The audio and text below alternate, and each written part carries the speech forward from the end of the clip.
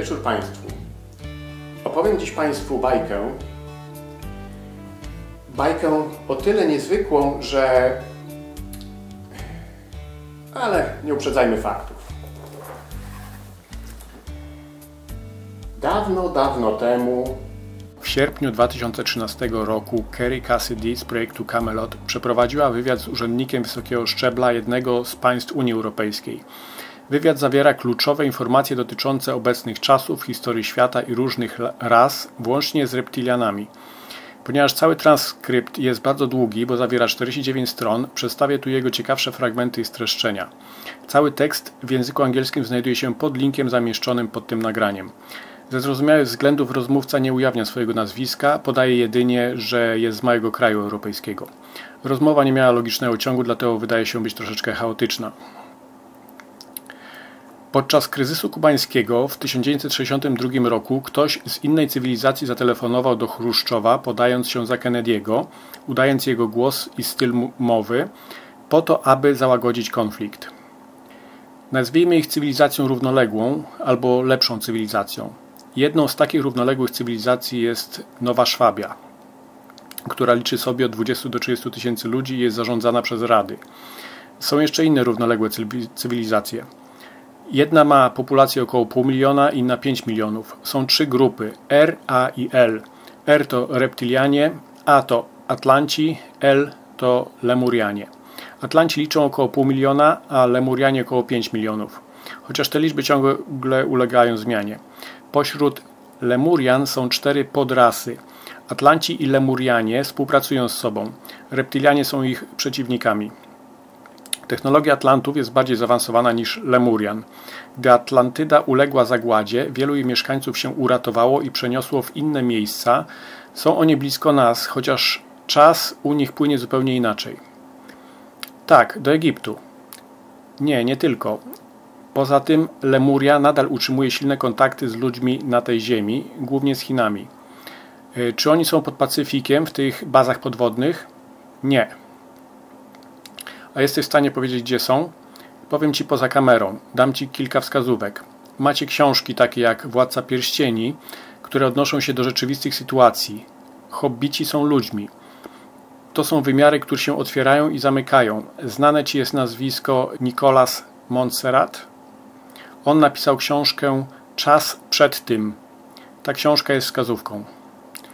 Czy możesz je opisać? Powiedziałeś, że są cztery różne grupy Lemurian. Czy u Atlantów też jest kilka różnych grup?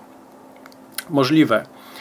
Jednak y, z tego co wiem, to ich społeczeństwa są zarządzane przez królów i oni nadal używają sanskrytu w starej przedwedyjskiej formie. Wszystkie te grupy współpracują razem, włącznie z niewielką liczbą ludzi, około 100. Jednak reptilianie wymagają, aby ludzie podchodząc do nich składali ręce w geście uniżenia. Odwiedzającym ludziom nie wolno tam robić zdjęć ani filmować, mogą jedynie robić notatki. Atlanci są o wiele silniejsi niż Lemurianie. Ich technologia wyprzedza nas o tysiące lat. Musimy tu przypomnieć, dlaczego Atlantyda upadła. Upadła, ponieważ jej technologia za bardzo wyprzedziła jej rozwój moralny. To dlatego Courtney Brown powiedział, że ich budynki wyglądały jakby były z lat 1950., a technologia 100 lat przed nami. W zasadzie było tak, że Atlantyda dokonała tysiącletniego postępu w ciągu 100 lat. Technologia po prostu się nagle rozszalała ponad ich możliwości jej kontroli. Sądzę, że Anunnaki wykorzystali tę sytuację, aby zniszczyć Atlantydę. Czy wrzucasz Anunnakich i Reptilian do tego samego pudełka? Nie, nie sądzę, aby Anunnaki współcześnie stanowili taką dużą siłę, jak się ich przedstawia. Oni byli silni bardzo dawno temu, ale obecnie już nie mają tak dużego wpływu, jak mieli kiedyś. Pozostała ich zaledwie garstka. Nie sądzę, aby obecnie było ich więcej niż kilkuset. Rozumiesz, że jest różnica pomiędzy tymi dwiema rasami? Tak. Czy zgodzisz się, że Watykan jest zarządzany przez reptilian? Tak, zgadzam się, częściowo. Benedykt był w takiej sytuacji. Był świadomy planu dotyczącego NWO i nie zgadzał się z nimi. Pokazano mu materiały templariuszy i dlatego zrezygnował. Gdy odkrył materiały templariuszy, myśli, że zaczął z nimi sympatyzować? Templariusze zostali częściowo zrehabilitowani przez Kościół za czasów Benedykta. Dokonał również zupełnego przewrotu w postrzeganiu buddyzmu. Zaczął pozytywnie postrzegać tę religię.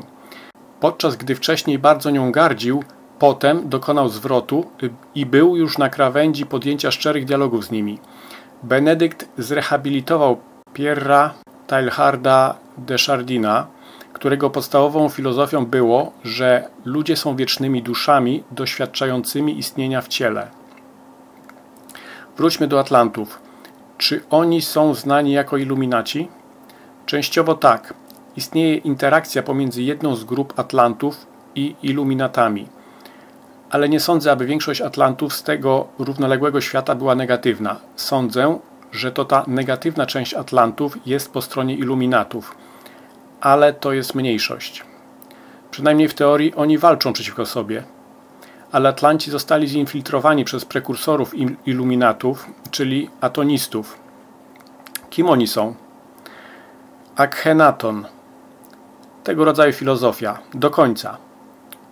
Zobacz, wyobraź sobie. To jest strona Anunnakich. Tak, ale oni skłaniali się w określonym kierunku, ku temu, co teraz nazywamy nowym porządkiem świata, który ma być prekursorem Federacji Galaktycznej.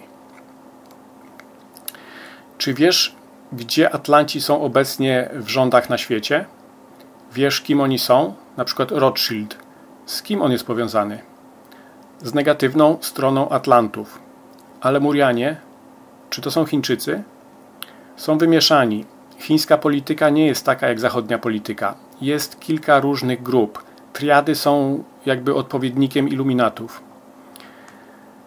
Reptilianie są najbliżej iluminatów. Oni stanowią najbardziej zwartą siłę. Wiesz skąd pochodzą reptilianie? Z Draco. Nie tylko. Ziemska grawitacja nie jest stała. Dinozaury w pewnym czasie ewoluowały do postaci humanoidalnej. Gdy wzrosła grawitacja ziemska, wyemigrowali w inne miejsce. Ziemia rozszerza się około 2,5 cm rocznie, przybiera na wadze międzywymiarowo. Dinozaury nie mogły żyć na powierzchni Ziemi, bo były za ciężkie. Która grupa ma większą władzę? Iluminaci reptilianie czy iluminaci atlanci? Zasadniczo to to jest to samo. Powiedziałbym, że reptilianie mają większy wpływ. Rosjanie byli pod kontrolą reptilian, ale się spod nich wymknęli. W Chinach jest pół na pół. Japonia była pod kontrolą iluminatów, ale nie wiem, czy nadal y, tak jest. Przywódcy byli pod kontrolą. Y, czy znasz przepowiednie, że Japonia ma niedługo zatonąć i trzeba będzie przeprowadzić ludzi na Kamczatkę? Tak, wiem o tym. Czy rząd chiński jest tego świadomy? Wiem, że budują miasta w Chinach. Jest już zbudowanych wiele pustych miast. Wielu ludzi mówi, że oni nie przeniosą się do Chin. Możliwe, ale mimo że obecnie na powierzchni wydaje się to mało prawdopodobne, może nastąpić zbliżenie między Chinami i Japonią. Podejmowane są duże wysiłki, aby zdestabilizować Środkowy Wschód. Tak, ale w przyszłym roku wszystko to zejdzie na margines. Świat skoncentruje się na USA. Zostaliśmy poinformowani, że Stany Zjednoczone stracą swoje imperium. Z jakiego powodu? Z powodu nadmiernych rozmiarów ponieważ iluminaci wykorzystują Amerykę przeciwko samej Ameryce, wysysają wszystkie zasoby tego kraju na potrzeby wojenne itd. Tak Częściowy upadek ich waluty. To nie jest nowa sprawa. Byliśmy już kiedyś w tym miejscu. Przypomnij sobie, jak w Imperium Rzymskim rząd zmniejszał ilość złota w monetach do tego stopnia, że nawet ich skarbnicy nie chcieli przyjmować własnych pieniędzy. Nasz układ słoneczny krąży wokół innego systemu gwiezdnego, którym jest Syriusz. Model układu planetarnego, który mamy obecnie, nie jest w pełni prawdziwy. Słońce krąży jak kometa dookoła Syriusza w ciągu 25,5 tysiąca lat lub coś koło tego. Jest to tak zwany wielki rok. Gdy Słońce się przemieszcza, tworzy falę, a planety krążą spiralnie za Słońcem w ścieżce komy, która ma bardziej naturę próżni raczej niż przestrzeni międzygwiezdnej. Obecnie Układ Słoneczny ma przejść przez obszar o większej gęstości, a więc ścieżka komy słonecznej skurczy się do wewnątrz. Planety rozejdą się na zewnątrz od Słońca. Pas asteroid obecnie jest w procesie przemieszczania i to dlatego mamy teraz te upadki asteroid na Ziemię. Aby to udowodnić, chciałbym zwrócić uwagę na pewien fakt. Pamiętasz, kiedy wyszczelono Voyagera? To pamiętasz chyba, że po pewnym czasie stwierdzono, że Voyager zaczął zwalniać. To dlatego, że on jest już poza zasięgiem komy i przemieszcza się przez przestrzeń międzygwiezdną, a więc ziemski rok się wydłuży, ponieważ oddalimy się od Słońca. Dawno temu ziemski rok trwał 300 dni, stopniowo w różnych etapach wydłużył się do 360, a obecnie trwa 364,24 dnia. Analogicznie ziemski rok wydłuży się do 369 dni albo coś koło tego. Tak czy inaczej będzie dłuższy. Może to zająć kilka dziesięcioleci, ale to właśnie dlatego pojawiają się anomalie związane z księżycem, meteorytami i, te, i tym podobne. Będzie tego więcej. Czy znane Ci jest, że przemieszczamy się przez pole energetyczne?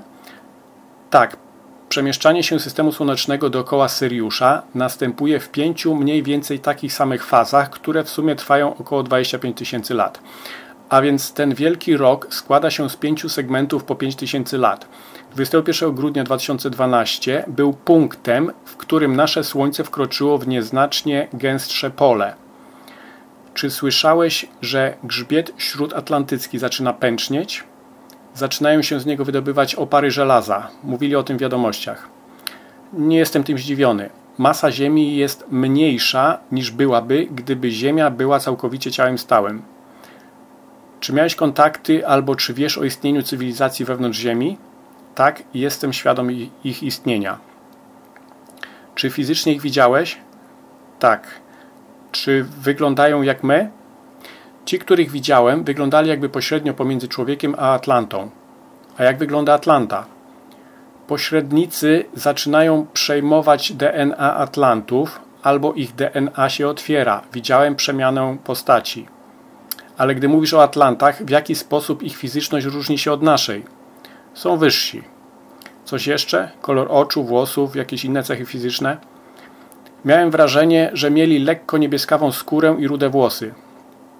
Czy ten niebieskawy kolor wynika z tego, że są oni syriańskimi Anunnaki? Tego nie jestem pewien. A co z szarakami, innymi rasami obcych? Wiem o nich. Myślę, że oni są ludźmi z przyszłości, pochodzącymi z naszej własnej linii. Szaraki? Oni tu wracają z powodu DNA. Wyobraź sobie, że masz kserokopiarkę i kolejno coś kopiujesz, kopię od kopii, to w końcu jakość tych kopii się zdegeneruje. Więc cofają się w czasie i wymiarach, aby zdobyć więcej DNA, aby mogli odświeżać swoje ciała i się replikować, stopniowo przenosząc swoją świadomość do nowych ciał. Koniec części pierwszej.